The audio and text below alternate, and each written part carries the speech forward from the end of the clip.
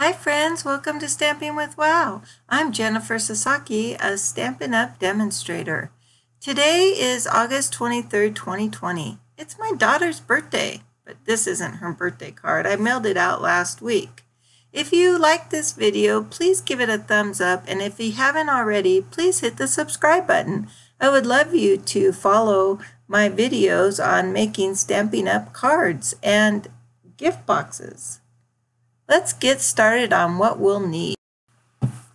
We're going to be using Coastal Cabana Gorgeous Grape and Melon Mambo inks. And I'm going to use the Balloon Duet. I'm going to use the Hooray to You stamp set. And I'm going to be using a Melon Mambo Designer Series paper. The Gorgeous Grape is going to be my card base. And this Whisper White piece is 3 inches by 11 and a half. With the gorgeous grape is eight and a half by five and a half, scored at four and a quarter.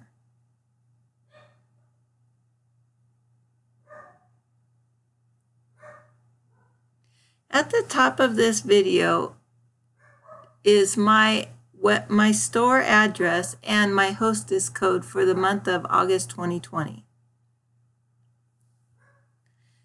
The Hooray to You stamp set is located on page 104. It is $17 and it comes with this really nice sized happy birthday balloon stamp with a little bit of sentiments and two clusters of flowers.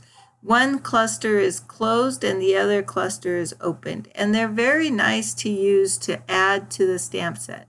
These are previous cards I've made using this happy birthday, hooray to you stamp set.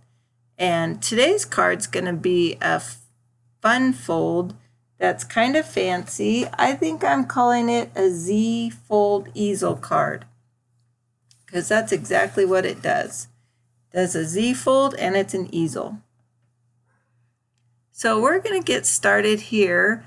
I'm going to score this gorgeous grape paper one more time so it's already scored at four and a quarter, and now we need to score it at two and one eighths so that we can create our base to the easel or the Z fold of our card.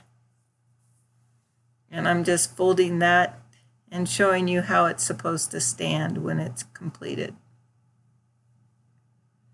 I just think that gorgeous grape's really nice.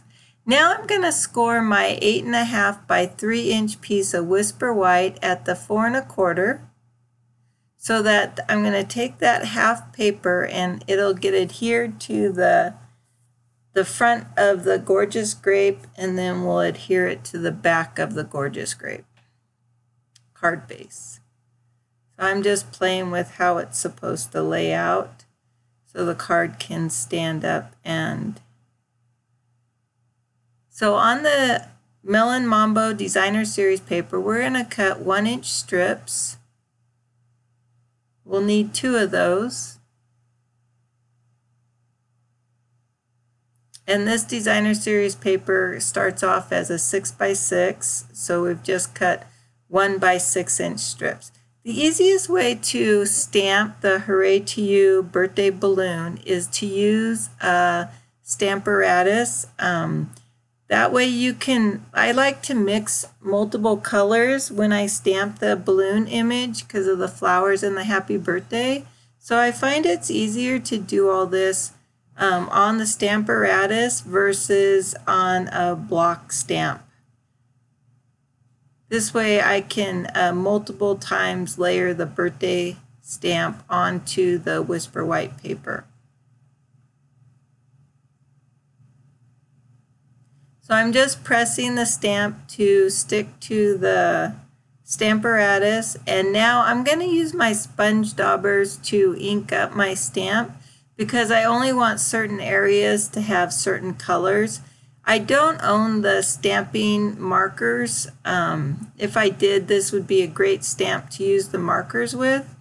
I You wouldn't want to use alcohol markers on a rubber stamp, but they're regular stamping uh, markers would work great. So that was Coastal Cabana, and this is Melon Mambo. And what I'm doing is I'm using the Melon Mambo dauber and I'm inking the edges of the stamp set. I don't want the inks to touch because I tried it earlier and when they go together they made like a mucky brown. So now you can see where my happy birthday is in Coastal Cabana and the rest of the flowers and the streamer are in the Melon Mambo. I think the stamp, the image came out really nice. I really like this stamp set a lot. Now I'm going to come in with Melon Mambo and Gorgeous Grape ink and I'm going to be stamping some of the flower cluster stamps um, around the happy birthday of the balloon. So the Melon Mambo is already uh, a color on the stamped image, but I'm going to use the close set flowers on that and just add a little bit more dimension by adding um, a top layer color.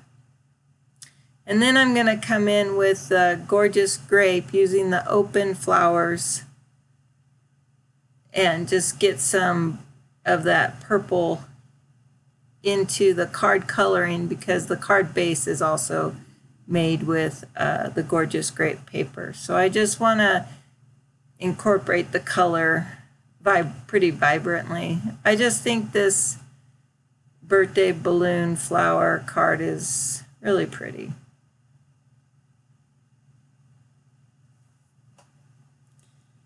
So now I'm done with the stamping image and now we're going to adhere it to the our easel, our Z-fold easel base.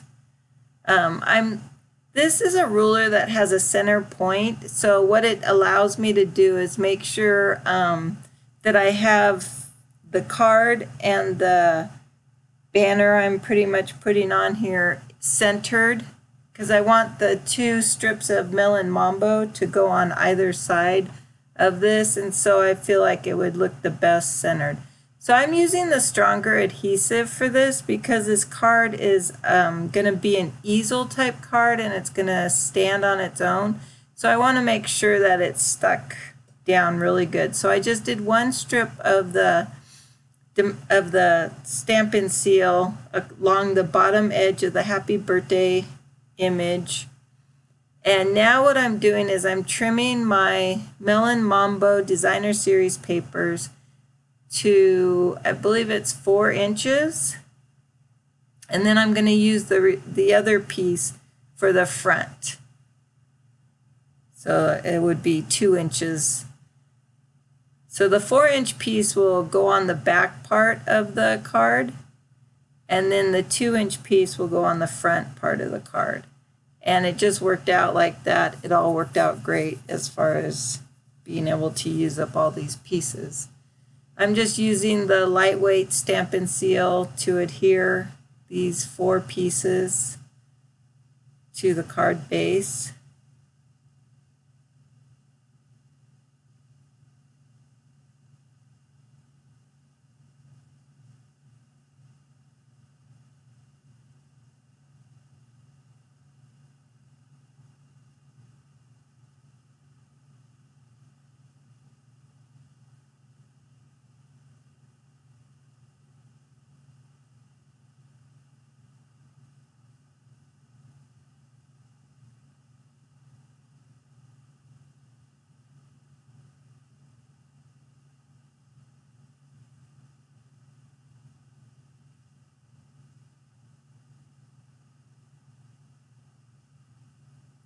And now I'm getting ready to adhere the, the top part of the Whisper White paper. I'm going to do one strip of that uh, stronger hold stamping seal on the back side of the edge and I'm going to adhere it to the back side of the card. The if I I tried adhering it to the the front side of the card and it caused the backside of the card to bend forward. So I wanted to create more of a straight up and down with the back lip of the card. So that's why I adhered the image, the stamped image paper to the back of the gorgeous grape paper and not the where the small V is. Here I'm adding more flower clusters and gorgeous grape on top of this Melon Mambo Designer Series paper. I thought if I would have used Melon Mambo, it would have made the, it wouldn't have stood out enough. And I think the purple gives it just a nice touch. I plan on adding balloons soon, so I'm not too worried about there not being a lot of flowers there. Here I am. I found a smudge on my Whisper white paper. So I'm using these sequins um, from the artistry collection in the annual catalog to cover up. And then once you start, you have to stick in the odds number minimum of three. Here I'm using the balloon duet punch and I am punching out a few of the balloons using up some scrap paper. Um, so I think I'm going to end up with about seven balloons or so. And I will stamp those Coastal Cabana balloons in Coastal Cabana ink with the flowers so that they have some kind of dimension or texture to them so they're not just solid cardstock. And I'm going to use the circular side of the designer series paper of the Melon Mambo for the balloon. So I think those balloons came out really cute. And I thought it'd be really cute if the balloons were hanging off the side of the happy birthday image in the center. So I'm just going to adhere all these balloons to the side of the cards on both sides.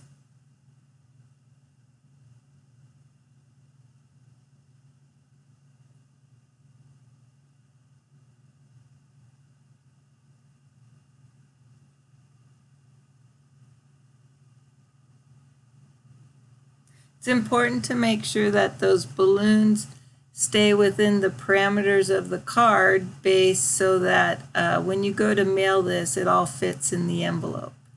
So that's how the card's meant to stand up. And so what I wanted was a card that easily is noticeable to be a stand-up card when the receiver receives it. So now, since I've sealed up the front of the card, my uh, sentiment is going to go on the back side of the card. And I'm cutting a 4x4 with piece of Whisper White um, for my sentiment on the back. And I'm going to cut out two more balloons using the Melon Mambo Designer Series paper.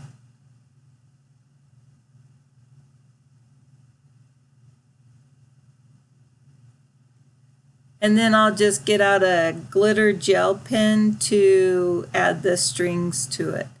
Here's my sentiment. I'm using Melon Mambo and it says time to celebrate.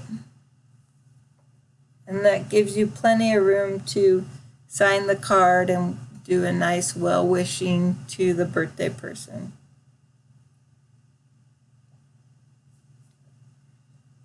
Those are my gel writer, glitter gel writers. I had bought a big bunch of them from Amazon. Uh, so after I adhere the balloons down, I'll create little bows on the little nozzles of the balloons, and then I will just do curly Q streamers all the way down. Up at the top is my hostess code and my store website. Uh, if you're interested in placing an order, then please go to that store website. And if your order is going to be under $150, please use that hostess code in the month of August 2020. And what that will allow is we can do a collective of orders to create a workshop, and it will help everyone who places an order using that host code to receive free product. So we won't qualify for free product without a minimum order of $150. So if your order is over 150, don't use the host code and you'll earn your own free product. If if it's under, then I will do the collectiveness of the hostess code and share with everyone who orders